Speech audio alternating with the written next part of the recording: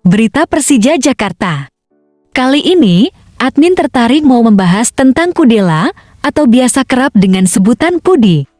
Pemain asing baru Persija Jakarta memang tengah disoroti oleh seluruh Jakmania karena tingkahnya dan membuat sebagian Jakmania respect terhadap Kudela. Walaupun pemain ini berlabel pemain asing grada, tapi admin salut attitude. Semangat juangnya dan menghargai para supporter jarang dimiliki pemain asing lainnya.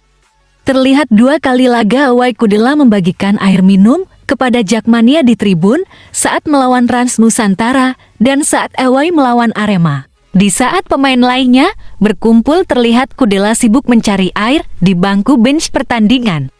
Ini yang membuat admin tertarik untuk mengangkat ini.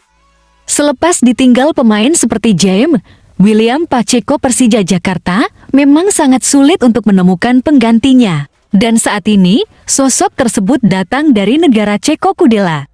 Pemain yang pernah tampil di Piala Dunia dan berhadapan dengan bintang Eropa kini bermain untuk lambang Monas di dada.